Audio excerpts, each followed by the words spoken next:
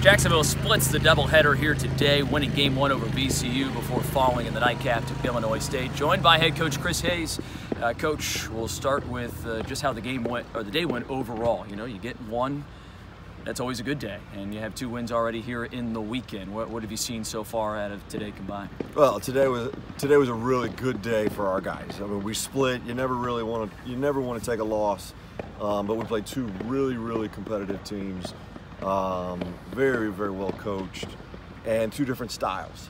And for our guys to compete the way they did, to beat a really good Virginia Commonwealth team this morning, uh, and then to come back and play a super competitive game with Illinois State, and their, their lefty was really good, gave us gave us a hard time for, for the six innings that he was in there, five innings he was in there.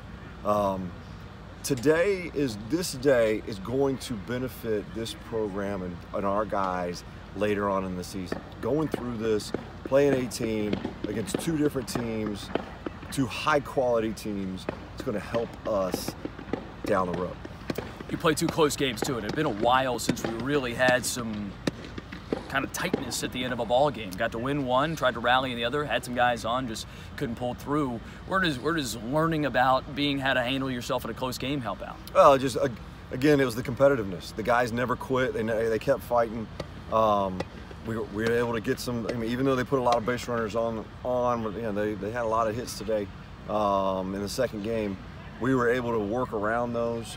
Um, and it was a, it's a credit to those guys, man. It's a credit to our players that continue to compete the way they have been.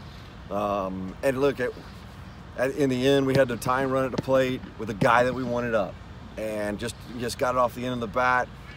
Coy is going to come through for us in big spots this entire year. So, um, again, I'm I'm happy about where we're at right now. Um, very, very pleased with the effort all day. Would have loved to seen us do a little more offensively this, this evening.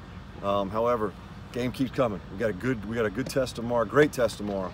Um, daylight savings, we jump forward, play against Virginia Commonwealth, and uh, we'll finish this weekend strong, hopefully. Chance for Jacksonville to get a third win here this weekend. Coming up, first pitch tomorrow against VCU at 1 o'clock.